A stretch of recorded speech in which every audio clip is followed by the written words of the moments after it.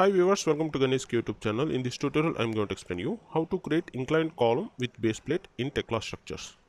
Just like this. Okay, let's start. Open Tekla structures with Indian environment. Now I'm going to create column. So click on steel and select this column and zoom it. For example, let's take here. Click on here to place the column. Right click on mouse interrupt. Now I'm going to edit this column height. So zoom it here use shortcut control 4 for render view. Now double click on this column to edit. You need to select this option. You need to deactivate it. Direct modification to speed up your system.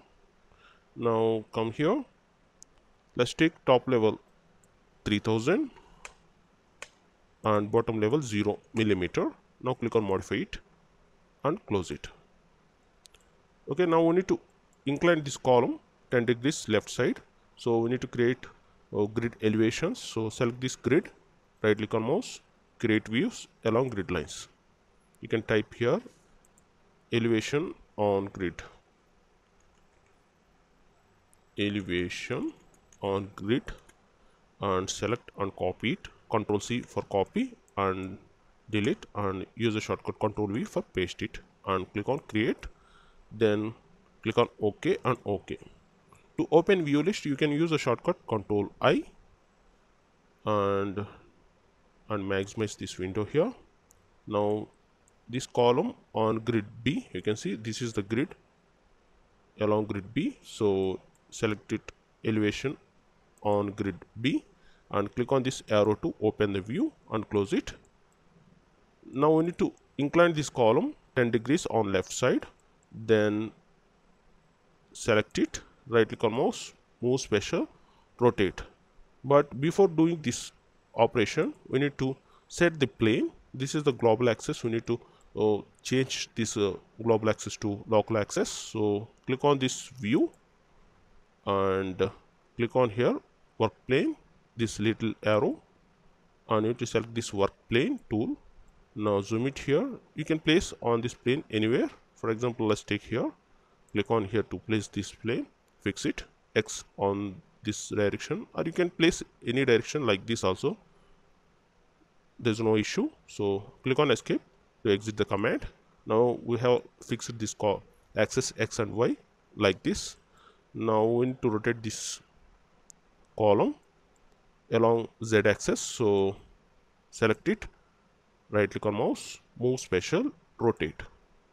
And you can see we need to select first of all we need to select origin at here. So click on here.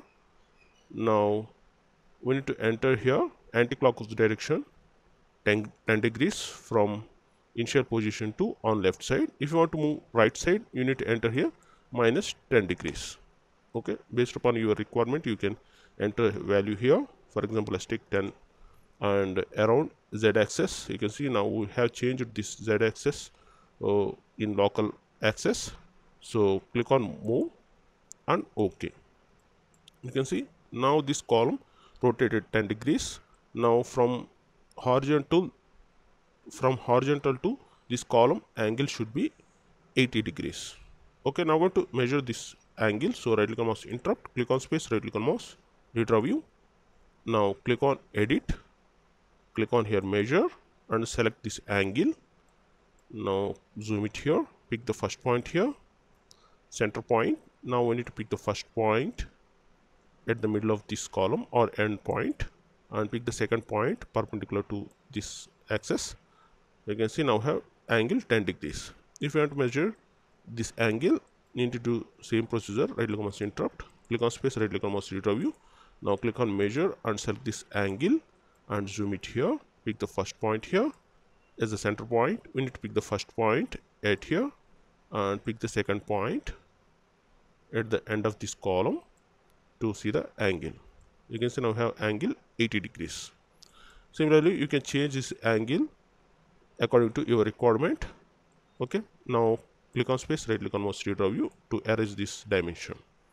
Now I'm going to create base plate at the bottom of this column. So click on this window and select this 3d view and zoom it here now going to create base plate. So go to application components by using the shortcut control F or you can click on here application components and search here base plate. You'll get this base plate 1042 component. So select this component and pick the main part as a column and pick the position at grid intersection point. Right click on mouse interrupt and close this window and zoom it here. Currently this base plate exactly inclined to this column but this base plate should be horizontal along to the ground. For example go to the elevation on grid B and zoom it here. You can see now we have this angle here. So we need to make it this base plate straight along to the x-axis.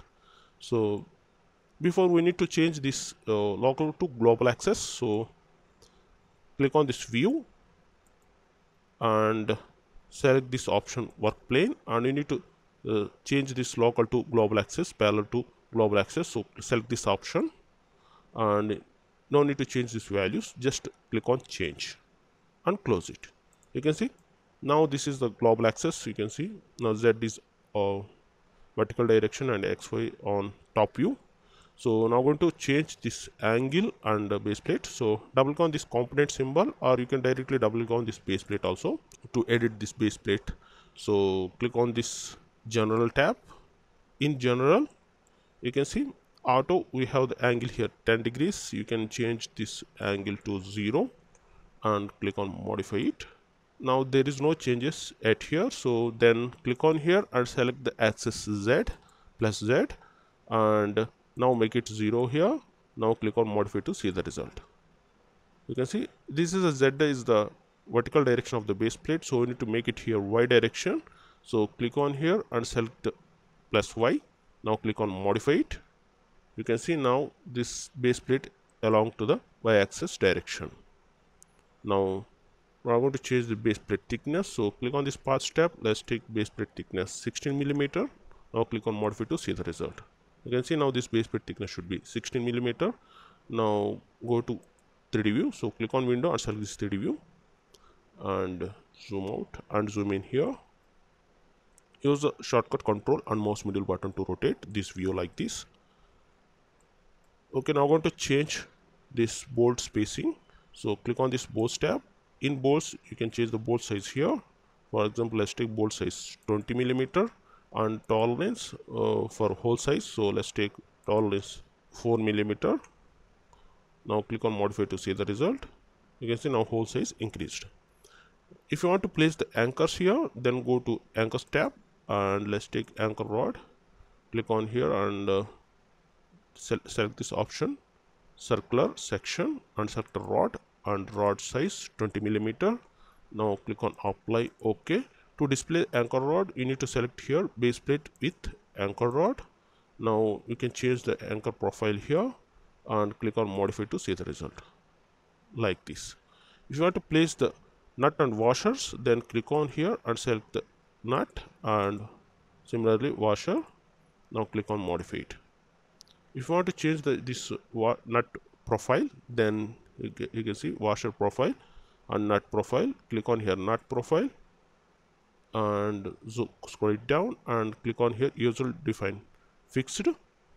Now scroll it down and here we have nut here. Let's take nut m20 now click on apply ok. Now click on modify to see the result here like this nut. Now coming to bolt spacing here anchor spacing. So go to bolts tab. Uh, in bolts this is the base plate length. This is the width of the base plate. Now i'm going to change the lengthwise anchor rod spacing here from edge to anchor rod spacing. Let's take edge spacing here 100 and number of bolts in lengthwise you can see one and two rows. So enter here 2 and spacing let's take 250 now click on modify to see the result. You can see now the edge distance should be from edge to bolt 100 from bolt to bolt 250 from bolt to edge 100 for example if you want to place three bolts here then you need to enter here three. In lengthwise you can see one two and three. If you want to place three then enter here 100 millimeter. Now click on modify it. And we're going to change here 125 now click on modify it. You can see now we have edge distance 100 and number of bolts 1 2 3 and edge distance 100 okay use shortcut control 2 for transparent for column. You can see now we have 1 2 3 in lengthwise direction we have spacing between these two anchors are 125 millimeter and edge distance 100 millimeter. Now coming to widthwise you can change this widthwise spacing also. so for example zoom it here from bolt to edge of the plate for example we're going to take here 50 millimeter on both side. Now click on modify it you can see now edge distance should be 50 millimeter. From bolt to bolt spacing we're going to take here number of bolts two in widthwise. You can see one and two rows. Now spacing between these two anchors we're going to take here 100 millimeter. Now click on modify it like this.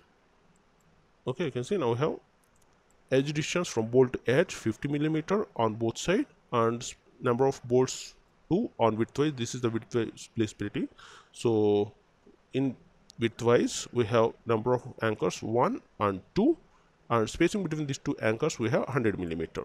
Okay modify apply ok click on space right click on mouse read okay use the shortcut control r and pick the rotation point here now use the control and mouse middle button to rotate like this. Okay? Use the shortcut control 4 for render view for column. Use the shortcut shift 4 for base plate render view like this.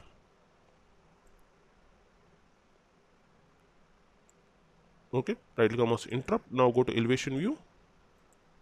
You can see now I have inclined column with a base plate like this